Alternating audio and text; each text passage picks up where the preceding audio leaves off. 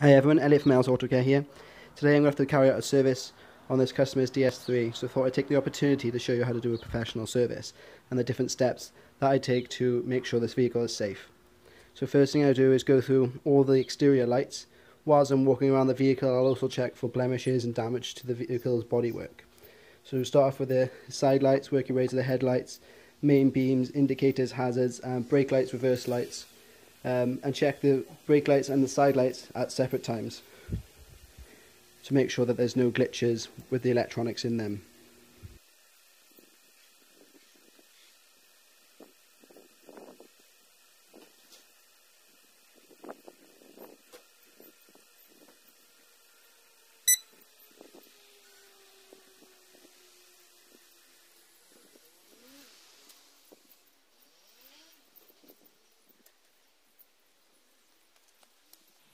Next step is to go to the inside of the vehicle. This is a three door, so what I'm going to do is check that this, these seats slide back and forth as they should. And then I'm going to check the seat belts. The best way to check the seat belts is by cl clicking them in and giving them a good yank. You don't want them to pop out of the, the clip, and you also want them to snap on, so uh, you don't shoot forward. So repeat that now on all the seats. Make sure all the doors open. At this stage, also check your horn and your windscreen wipers. So just squirt the fluid onto the screen and watch that your wipers clear it properly. Now I'm in the vehicle, I'm going to pump the brake pedal up as hard as I can to check the brake servo. Once that's nice and hard, I'm going to turn the ignition key on. So all the lights on the dash light up. So you want to make sure your engine management lights on and everything like that is there, or else you'll fail an MOT. Uh, once that's on, turn the ignition on, turn the engine on, Make sure all those lights are clear. Make sure your pedal starts to creep down slightly, goes a little bit softer. Um, once you're happy with that, move over to your um, air, con air conditioning unit. Turn that up full blast, make sure all of them work, and make sure there's no nasty smells coming from it. I'm happy with this, so I'm going to move on to the next stage. Now we're going to do our under bonnet checks. We're going to check our uh, coolant reservoir, we're going to check belts and hoses, our windscreen wash, make sure that's full. Then we're going to move over to the other side here and check our brake fluid. We want to make sure that's nice and clean, there's no contaminants in it.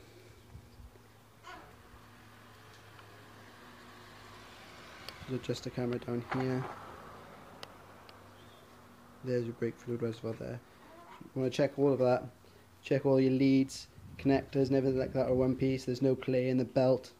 Just check it all over, make sure there's nothing that you shouldn't see there. Check the engine mounts by rocking the engine properly and then move on to the next part. Right, before I drain the oil, I like to take a, a note of the levels beforehand. So just check your oil now quickly um, and pay attention to what, what it is. If it's low, you could have a risk of oil leak or something like that, so you can keep an eye on it for the later part of the service. So this one here is fine, it's sat in the right place. So we can move on now.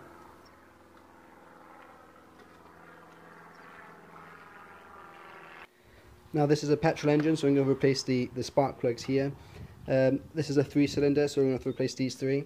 But I'll start off with this one here, so you undo the electrical connector. So on this one here, it has individual coil packs, so you have to um, disconnect it individually. So this has got a brown clip that you push back, and then just undo it like a normal clip then.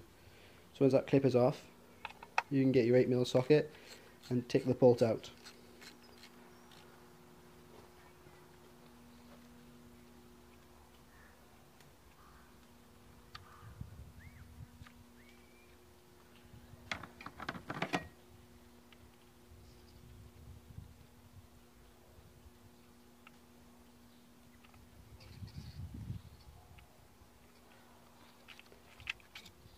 With that that bolt out just wiggle the the coil pack loose and pull it up. Be gentle on this you don't want to damage anything.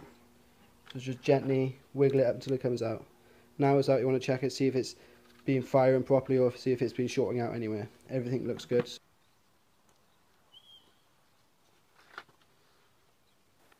Now you want to get your spark plug socket on an extension bar. These are a bit of a um, specialist socket I guess because they have a little insert on the bottom that holds onto the spark plug. So you just push that over and then gently and slowly crack it off and then twist it all the way out. But very gently and very slowly. Try to do this a lot by feel. If it doesn't feel right stop doing what you're doing. And just twist that all the way out.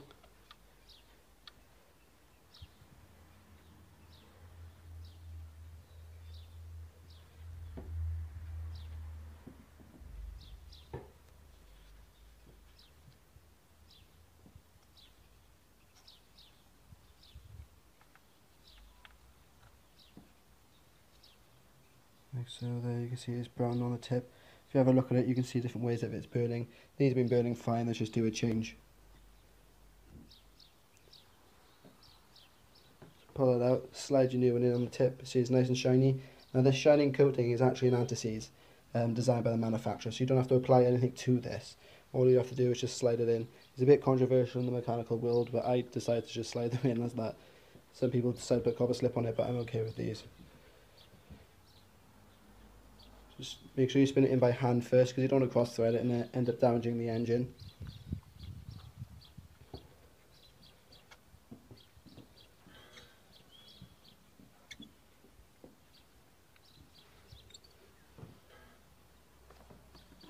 As you do it by hand, just grab your ratchet, very gently do this. Now they, they're torqued up to something like 25 spec, I um, 25 newton meters. I do it by hand and they've got a crush washer on it so once you get past that crush washer and feel a bit of resistance just stop.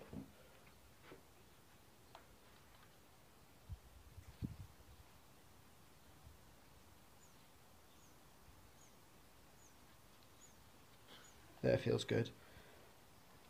Now repeat that on the other two cylinders or three or four whatever whatever engine you've got.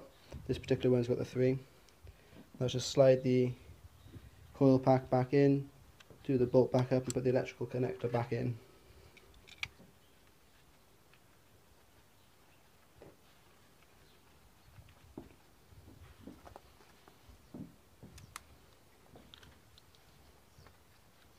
Just want to nip this up now, don't do it too tight because you don't want to crack the coil pack.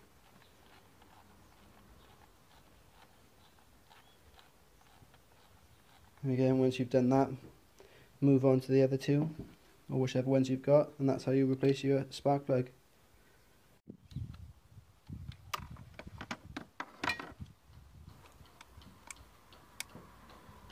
Once you've finished up with that, I'm going to move on to the air filter here. Just adjust it so you can see it a bit better. Right, there's the air filter inside here, since the filter housing. So it's got screws all the way around it, they're Phillips heads. So you just need a Phillips screwdriver or whatever. I'm using the ratchet here just because is easier for me, but you will use whatever you feel is best.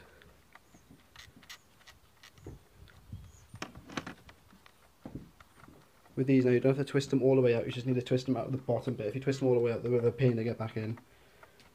It's just so you're basically just loosening them off.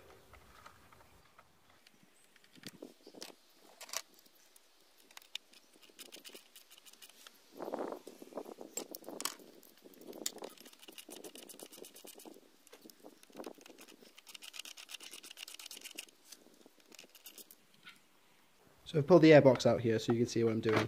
These are the back last two screws. So we're just going to spin this last one out here.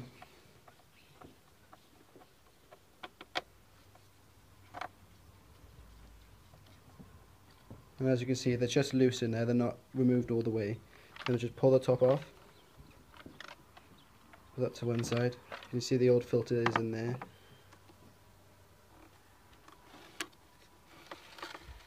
Not that bad nick. Normally at this stage you'd clean the debris out of the box but there's none in this one. So there's the old filter. Pull that out of the way and put the new one back in. You can see that one's a bit cleaner.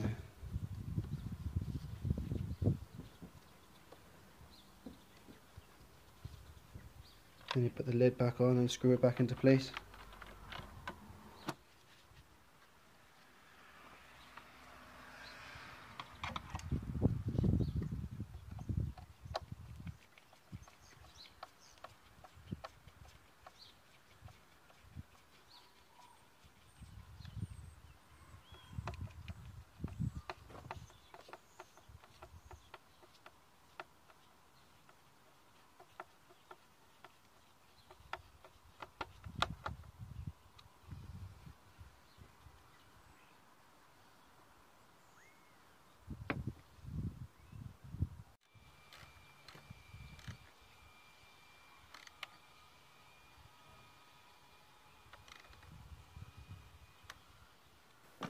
Now with all that back together, we're going to heat up the engine. Um, just to make sure the spark plugs are working and firing as they are, since we've disturbed them, and there's no leaks coming from the airbox. And we want the oil to be nice and warm from when we need to drop it out now. While the engine's warming up, you could stop for a break, or you can jack the car up ready to inspect the, the wheels, the brakes and suspension, and, and the underneath of the vehicle. That's what I opted to do.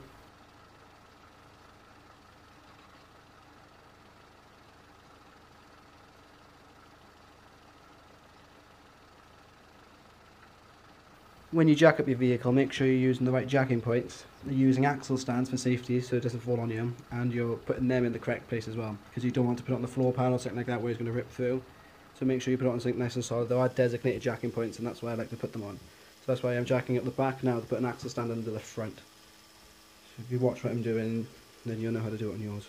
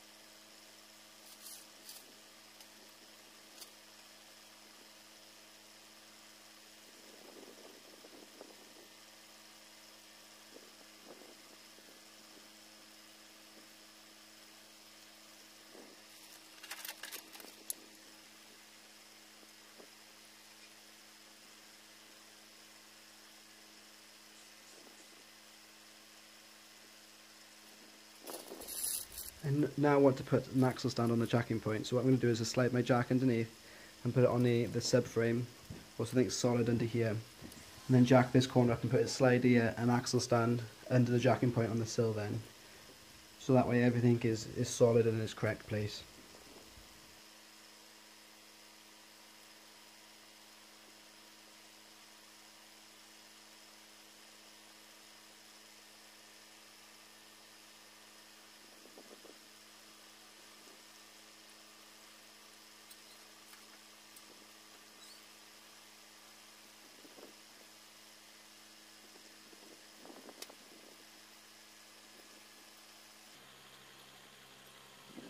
Now it's time to get the old oil out.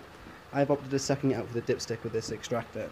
The reason I'm doing that for is one, it's cleaner and easier, and two, it allows me to do something else whilst it's doing it. So I'm going to extract this oil now from the dipstick and take my wheels off at the same time.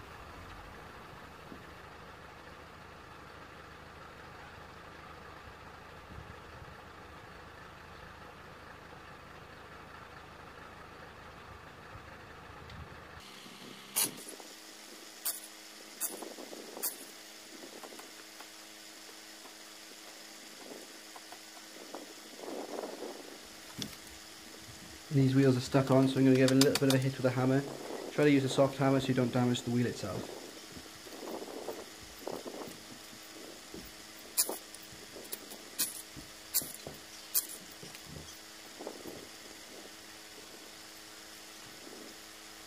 And same again, it looks like we're going to have to do this all the way around. Slide the, uh, the wheel then underneath the vehicle as an extra support just in case the jack stands fail.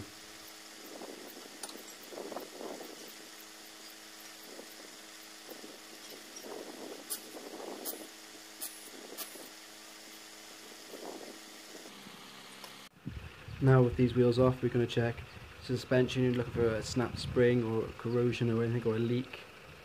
And you're going to check your brakes. These pads are a little bit worn in here. They're going to be due a change soon. The disc, there's a little bit of a lip on there, but it's fine. You're going to go around to this side and you're going to check the, the track rod end. Just adjust you uh, there. See it in there. So there's no play in there, that's nice and solid. Come back around to the other side. The drop links are fine. The ball joint on the bottom is fine. A top mount up there, there's no play in. And the wheel bearings are okay as well. We'll repeat that on all four corners now.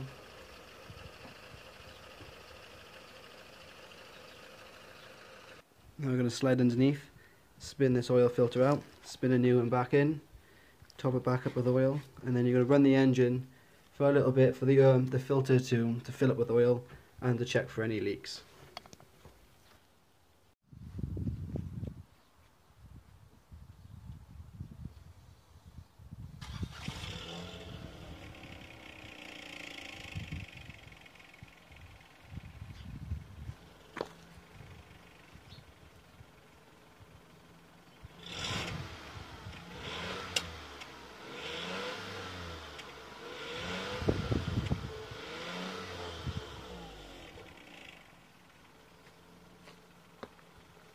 There was no leaks or anything wrong with this vehicle after the service.